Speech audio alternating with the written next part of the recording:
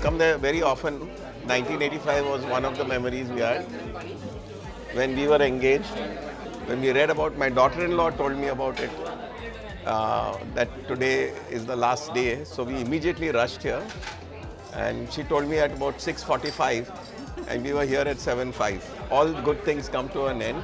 So this is one of those things. Life goes on. Now I'm very sad because they're closing down and I hope they relocate somewhere pretty soon so that I don't miss their food for much long.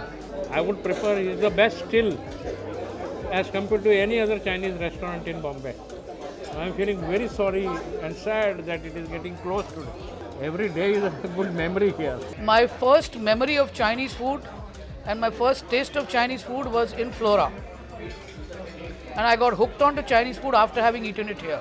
And I feel very sad that this iconic Chinese restaurant is closing down for no fault of theirs. I only wish that it could it would open up and continue somewhere else. It's the best Chinese restaurant in Mumbai. And It's always been a great experience. I've been coming here since I was a child till now, and all the dishes here have been amazing. And I still remember the owner, Tony. It was always, whenever he used to come here, he used to come and wish us, greet us.